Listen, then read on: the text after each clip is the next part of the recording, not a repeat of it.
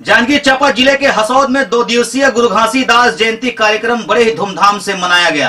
वहीं इस कार्यक्रम में भव्य सतनाम संदेश शोभा यात्रा निकाली गई, जिसमें हज़ारों की संख्या में समाज के लोग शामिल हुए। जांजगीर चांपा ज़िले के हसौद में दो दिवसीय गुरु घासीदास जयंती कार्यक्रम बड़े ही धूमधाम से मनाया गया। कार्यक्रम की शुरुआत पूजा अर्चना के बाद भव्य सतनाम संदेश शोभा यात्रा निकाली गई, जिसमें समाज के लोग हज़ारों की संख्या में शामिल हुए। शोभा यात्रा तहसील परिसर से थाना चौक, मिलन चौक, बाज़ार चौक, बस स्टैंड, बजरंग चौक होते हुए शासकीय महाविद्यालय के पास जैत खाम से महामाया मंदिर प्रमुख चौक चौराहों से होकर धमनी हसौद भाटापारा होते हुए कार्यक्रम स्थल तहसील परिसर के पास समाप्त हुई। शोभा यात्रा के दौरान गाँव के जैत खाम में ध्वजारोहण भी किया गया, जिसमें संत शिरोमणि बाबा गुरु घासीदास जी के जयंती के शुभ अवसर पर समाज के सभी वर्गों के लोग बड़ी संख्या में कार्यक्रम स्थल में एकत्रित होकर एक रूपता का परिचय दिया। शोभा यात्रा में आकर्षक रूप से गिरौदपुरी जैत खाम की मनमोहक झांकी बनाई गई थी।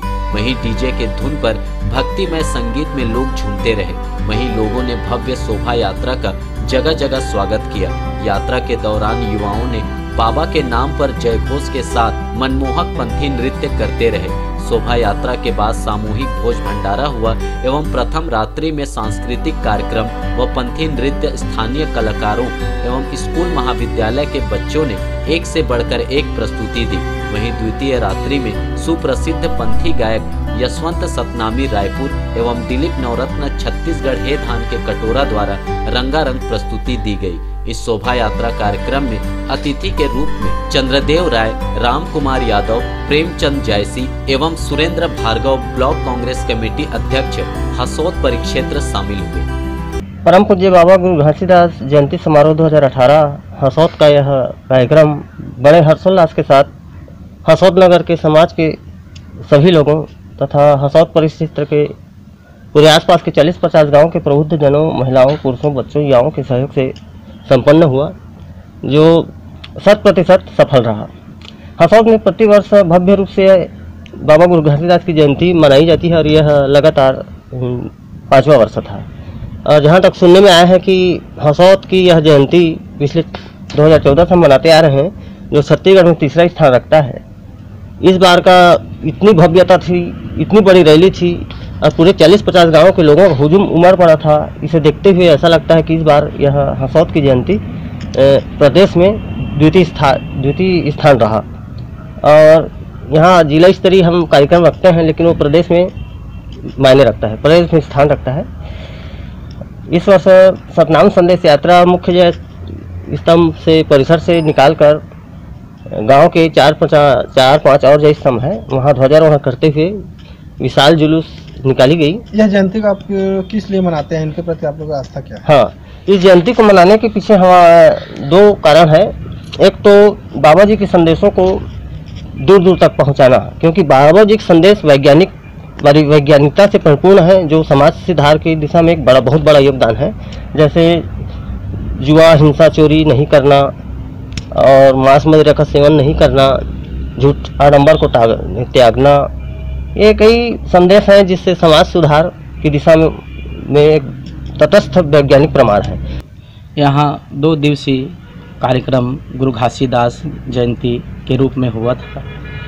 इसकी रूपरेखा यह है कि दो दिन का हम इस कार्यक्रम में भागीदारी दिए थे जिसमें प्रथम दिवस में रंगोली का कार्यक्रम रखा गया था। तत्पश्चात हमारी रैली जो है ग्राम हसौद में मुख्य जय स्तंभ से पूरे हसौद के कोने कोने तक यह रैली सतनाम संदेश यात्रा के रूप में गई है। और ऐसा प्रतीत हुआ कि हमारी रैली जो है 15 से 20 किलोमीटर के बीच में हुई। उसके बाद में रात्रि जब शाम को सतनाम संदेश यात्रा के बाद जब हम वापस आते हैं तो यह रैली में शामिल जितने भी लोग माता बहनें उपस्थित रहते हैं उनके लिए सामूहिक भोज भंडारा का आयोजन किया गया था जिसमें चार से पाँच हज़ार लोगों ने एक साथ बैठकर भोजन किया। तत्पश्चात क्षेत्रीय कलाकारों द्वारा प्रस्तुति दी गई। उसके बाद अगले दिवस में सतनाम संदेश यात्रा को लोगों के माध्यम से कई रूपों में संगीत के माध्यम से कई प्र, प्र, प्रस्तुति के माध्यम से लोगों तक पहुँचाया गया। और जब रात्रि हुई तो हमारे रायपुर से आए बड़े कलाकार यशवंत सतनामी जी के द्वारा लोगों में एक मनोरंजन बहुत जोरदार और हर्षोल्लास के साथ स्थापित हुआ। और चंद्रपुर विधायक सम्माननीय राम कुमार यादव जी और बिलईगढ़ विधायक सम्माननीय चंद्रदेव राय जी का आगमन हुआ था, जिन्होंने बाबा जी के संदेशों को लोगों तक पहुँचाया। हसौद से देवेंद्र निराला की रिपोर्ट एसीएन ट्वेंटी